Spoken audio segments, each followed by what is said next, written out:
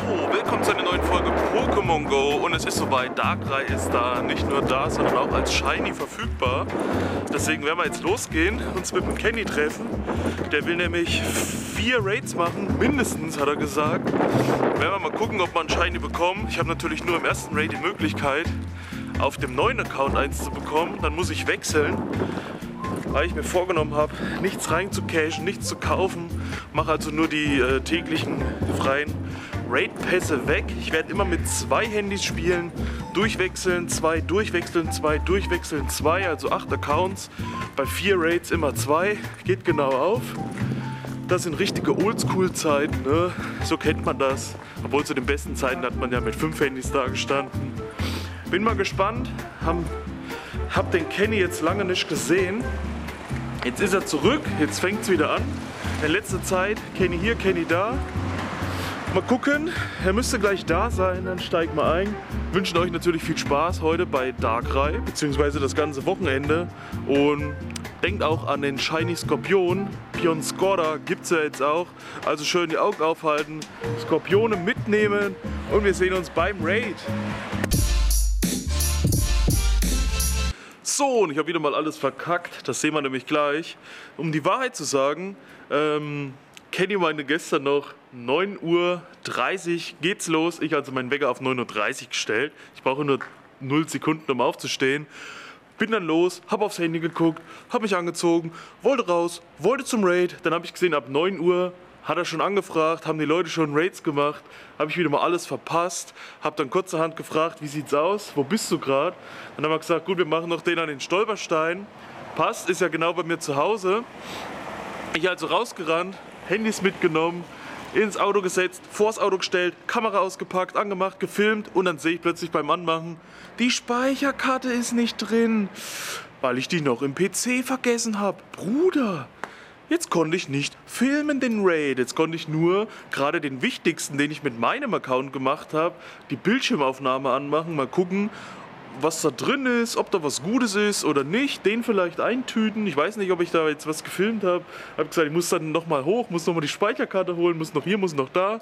Das Intro habe ich vergessen zu filmen. Das habe ich jetzt nachträglich gefilmt und gerade vorne rangeschnitten. Das schneide ich jetzt hier rein und danach seht ihr, wie es richtig angefangen hat wo ich aber auch sagen muss, dass ich das und das davor noch aufnehmen musste. Ihr seht also wieder alles chaotisch, alles durcheinander, alles richtig. Ich verstehe nicht, was los ist. Letztens bin ich zum Rewe gegangen. Ich bin zum Rewe gefahren, sagen wir es mal so. Ich bin zum Rewe gefahren, weil ich beim äh, Extrem noch war. Auf dem Rückweg habe ich gesagt, ich muss fix in Rewe, muss noch was einkaufen. Bin aus dem Rewe dann raus und anstatt zum Auto zu laufen mit meinem Einkauf, bin ich einfach heimgelaufen mit dem Einkauf weil ich nicht mehr dran gedacht habe, dass ich mit dem Auto da bin. Bruder, das ist doch wirklich grenzwertig, oder? Wart ihr auch schon mal einkaufen und habt euer Auto vergessen? Schreibt's mal in die Kommentare. Ich gehe da rein, ich komme raus, voll bepackt und denk, oh, jetzt alles heimschleppen. Dabei stand mein Auto auf dem Parkplatz. Natürlich, als ich es nächsten Tag geholt habe, ich habe sie dann erst nachts gerafft, weil meine Mom geschrieben hat, Sag mal, wieso steht dein Auto beim Rewe? Hä? Bist du behindert oder was? Habe ich erst mal gerafft. Ach so, ich habe mein Auto vergessen. Und als ich es nächsten Tag geholt habe, natürlich direkt Strafzettel dran. Also wenn, dann kommt es richtig, das Leben bestraft ein. Jetzt haben wir auf jeden Fall Stolpersteine gemacht, wollen weitergehen zum Old City Tower. Genau, Old City Tower ist dann das nächste. Da stelle ich die Kamera auch mal aufs Auto. Ich glaube, ich hoffe, da klappt alles. Also sehen wir uns gleich wieder.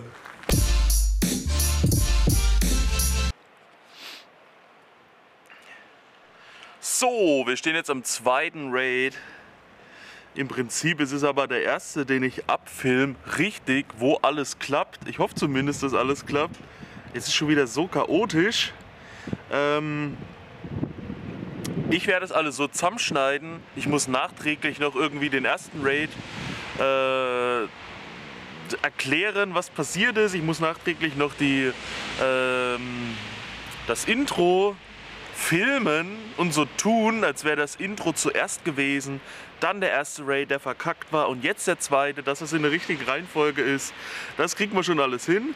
Auf jeden Fall ist Darkrai da. Wir sind jetzt am Old City Tower. Zusätzlich kann es sein, dass mein Onkel gleich anruft.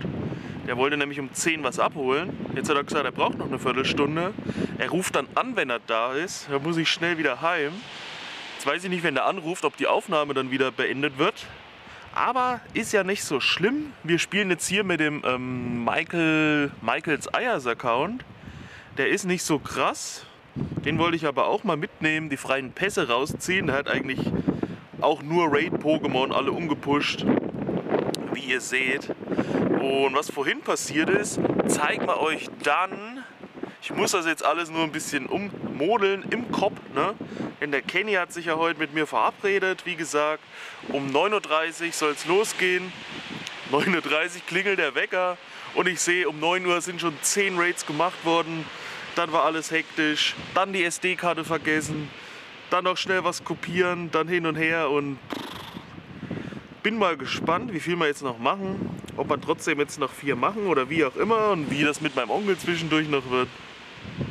Die Leute freuen sich auf jeden Fall, dass Darkrai wieder da ist, weil das eben ein heftiges Pokémon ist mit richtig guten Werten, sieht richtig cool aus und zudem noch shiny. Mein Problem ist halt, dass ich jetzt überall nur kleine Accounts habe, um zu raiden, damit ich Videos weiterhin machen kann, Spaß haben kann, aber für den Großen bringt es mir nichts, weil man kann das ja nicht rübertauschen und eigentlich bräuchte ich auch jetzt gar keine Raids machen. Mache ich natürlich aber trotzdem, weil die anderen wollen ja auch auf ihrem Account was haben und eine Tour machen, eine kleine. Und dann nimmt man das halt gerne mal mit. Auch wenn ich jetzt für meinen Main-Account davon keinen Nutzen habe. 146 Sekunden übrig. Wir gucken mal kurz, ob es shiny ist. Wenn nicht, fangen wir es in Ruhe. Melden uns beim nächsten Raid wieder. Ein Shiny gab es ja schon. Und hier haben wir, was ist das? Nichts und nochmal nichts. 21,4 und hier 20,77, was das sein soll. Ich hasse das. Das geht wieder an den Rand, versteckt sich, ja, 20,77. Gut, die tüten wir mal beide ein und gucken mal, ob wir zwischendurch das mit dem Onkel noch machen.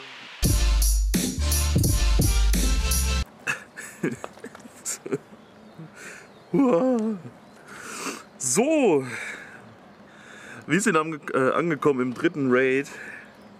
Es ist so chaotisch heute, ich raste aus. Wir sind jetzt am Schwimmbad auf jeden Fall, bei der X-Raid Arena. Der Brian hatte eigentlich gefragt, ob noch irgendwo was geht. Wir haben eine halbe Stunde gepredigt, Schwimmbad, Bruder. Jetzt fragt er, ob jemand den auf dem Markt macht. Aber kein Problem. Der geht nämlich 11.02 Uhr auf. Wir fahren danach direkt zum Markt, machen den dann noch. Das ist dann der vierte, ne? Da wechsle ich nochmal um, nehme nochmal zwei, habe jetzt wieder zwei zwei, zwei rote Accounts dabei.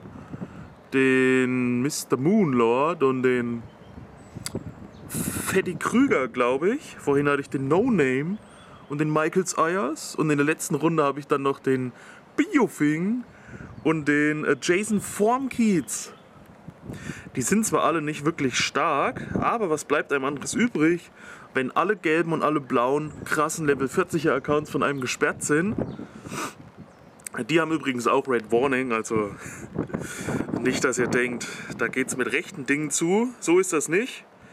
War alles ein bisschen chaotisch jetzt. 11.02 Uhr machen wir noch den an der Sonnenuhr, ist dann der vierte. Der Kenny muss nämlich dann auch wieder los.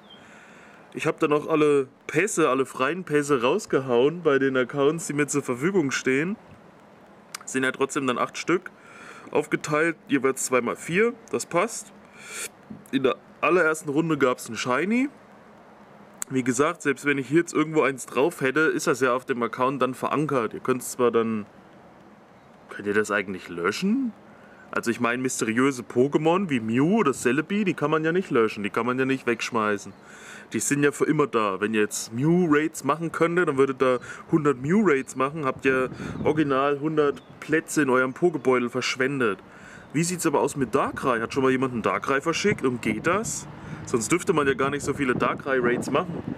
Weil man kann das ja nicht tauschen, auch das Shiny nicht. Ist ja mysteriös, aber kann man es verschicken. Aber wer verschickt schon Darkrai? Macht glaube ich auch keiner. So, wir gucken mal hier rein. Da nix. 2084. Und auf dem anderen ein. Ah, man sieht es wieder nicht. 21,2. Die tüten wir mal noch ein. Dann gehen wir zum vierten und gucken, ob wir da noch was haben. Sag mal, ich muss mal ein Stück hier rüber. Nicht, dass der Kenny sich beschwert, dass sein. Das, ja, genau. weiß zwar keiner, dass er das ist. Ich hätte mich ja da vorstellen können. In dem Sinne. Im Endeffekt ist eh der Bildschirm dann davor und man hätte es gar nicht gesehen. Ich will, ich will Nudeln.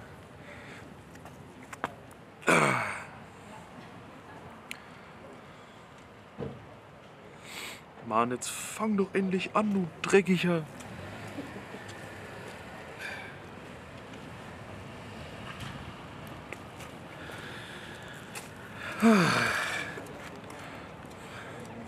So, da sind wir also angekommen. Am letzten Raid erstmal von der kleinen Tour. Vier Stück. Und ich muss immer noch das Intro aufnehmen. Ich muss immer noch den ersten Raid irgendwie herzaubern, wo ich die SD-Karte vergessen habe. Aber das habt ihr ja schon alles gesehen. Der Brian ist mittlerweile auch da. Der steht da hinten. Den seht ihr jetzt nicht. Der Kenny noch am Start. Ne? Wir sind immer noch am Rätseln, wie man es irgendwann schafft, ein äh, Lucky Darkrai zu bekommen. Oder eben auch ein Lucky Mew, ein Lucky Celebi, wenn man die mysteriösen ja nicht tauschen kann. Vielleicht gibt es ja irgendwann mal so ein mysteriöses Event. Ist nicht sogar diesen Monat eins. Aber ich glaube nicht, dass sie da einführen, dass man plötzlich mysteriöse tauschen kann. Oder so einmalig. Der Spezialtausch am Tag könnt ihr einmal ein äh, mysteriöses traden. Wer würde denn sein Mew weggeben für was anderes? Macht doch keiner. Und dann kriegt man ja auch kein neues oder wie, aber muss man ja, man muss ja irgendwann auch mal das Shiny Mew bekommen. Also Fragen über Fragen, was Niantic da macht, die wissen es wahrscheinlich selber noch nicht, wie sie das lösen. Alternative wäre ein, äh, ein Mystery Trade Pass, den ihr euch kaufen könnt. Und dann könnt ihr einmalig was traden, aber das wäre noch Quatsch, äh, noch beschissener, denke ich mal. Ich denke mal, das wird alles auf ein Event hinauslaufen. Weiß nicht, wie ich mich hier hinhängen soll. Mein Fuß tut weh und ist umgeknickt einfach nur. Schön mit dem Knie auf den nassen Asphalt. So muss es sein. Wir haben jetzt die letzten zwei Roten hier dabei. Es geht eigentlich auch ganz gut durch. Ne? Dann bin ich wahrscheinlich fertig für heute, weil ich einfach keine Pässe mehr habe. Und mir es ja eh nichts bringt. Aber trotzdem acht Raids gemacht habe. Beziehungsweise halt vier. Die Frage ist, habt ihr auch welche gemacht? Habt ihr ein Shiny bekommen? Habt ihr ein gutes bekommen? Der Kenny hat vorhin gesehen, hat einen 93er bekommen und einen 96er sogar. Das ist natürlich sehr krass. Ich weiß gar nicht, was damals mein Bestes war. Ich kann auch leider jetzt nicht nachgucken.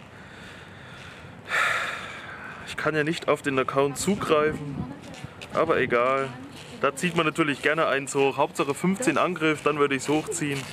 Bonbons müssten glaube ich auch genug da sein, aber erstmal abwarten, wann der Account wieder frei ist.